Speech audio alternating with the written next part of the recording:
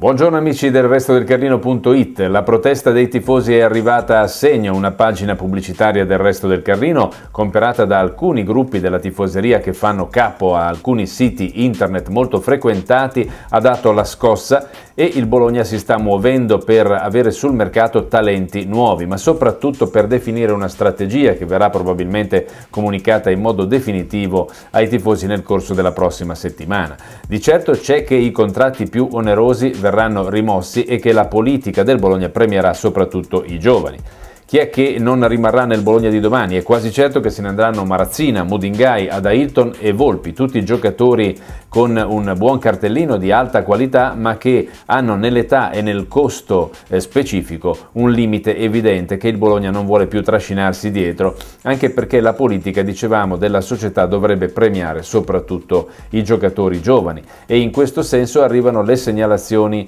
di possibili acquisti che sono davvero interessanti. Cominciamo da Paul Vitor Barreto, 24 anni, ex giocatore dell'Udinese, poi in forza nell'ultima stagione al Bari, al quale era finito in comproprietà, ha segnato ben 23 gol, è una seconda punta molto veloce, capace di aprire gli spazi, quindi adatta probabilmente a giocare in coppia con Di Vaio, ma anche di catapultarsi direttamente in area di rigore per andare a centrare il gol in maniera diretta come puntualmente ha saputo fare con il Bari. Possibilità anche per Edgar Barreto che invece è un centrocampista paraguayano